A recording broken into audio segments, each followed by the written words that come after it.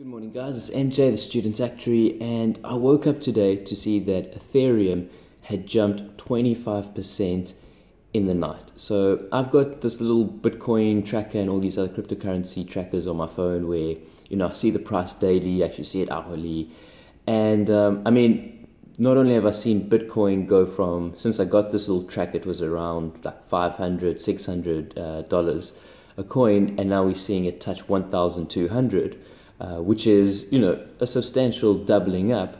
But there's also this other currency called Ethereum, which when I got the tracker was at ten dollars, and I saw the other day it had jumped to twenty dollars, and then last night I checked that it had jumped all the way up to forty dollars, and then I woke up this morning and I saw that it is at fifty dollars. So I had to go into the internet and be like, you know, what on earth is going on? And turns out that Ethereum is now being traded on eToro, which is an asset trading platform. And one of the big pushes for the Bitcoin price was because there was going to be that ETF. Remember, I made a video a while back about that. And so, what it turns out is that these cryptocurrencies, that because they're getting listed, because they're getting injected with a whole bunch more liquidity, and because they're being exposed to a whole bunch more uh, people, there's way, way, way, way too much demand at the moment, which is pushing these prices you know, through the roof. Now, I remember when I came to buy a whole bunch of cryptocurrencies, um, I even considered following the, the passive management approach. The passive management approach would have been to buy 80% Bitcoin, 10% Ethereum, and then like a few minor percentages in a few of the other coins like Dash, Dogecoin, Litecoin, OneCoin, etc., etc. But I decided to go all in on just Litecoin. I had a little bit of Dogecoin, but not, not that much. But I, I went all in on Litecoin.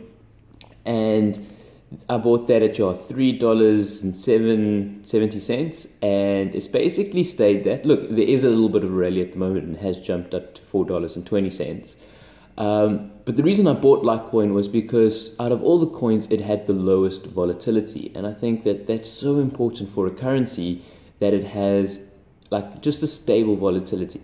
Bitcoin and Ethereum as a currency, because the prices are jumping up, you know, up and down, up and down, they really make it risky for just people to use the coin. Because think about it, you buy the coin today, and then the next night it's 25% more valuable. Or imagine if you agree to do an order and payment's only done in like say 10 days time and it's in a specific coin and then by the time that that 10 days comes the coin's doubled in value you know the deal has is no longer profitable to you.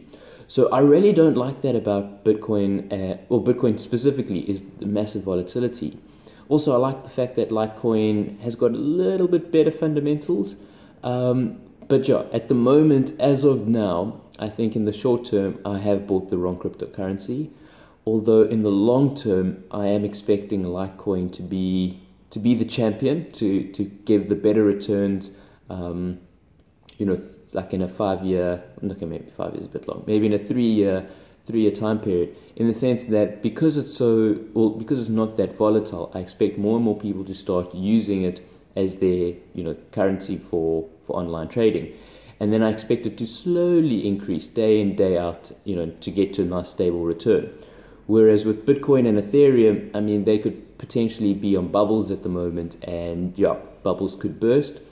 But look, I'm saying this at Ethereum at $50. I mean, I will not be surprised if by the end of the week it is trading at $100.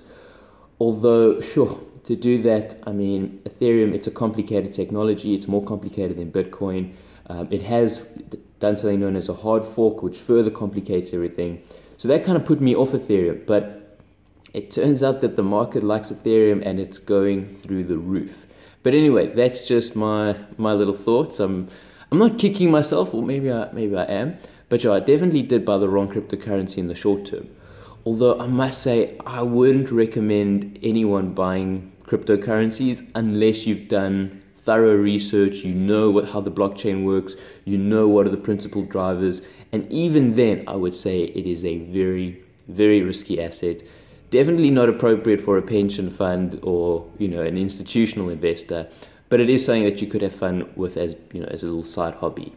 But anyway that's all i've got time for. Let me know if you've got any questions below and uh, i'll see you for my next video. Thanks guys. Cheers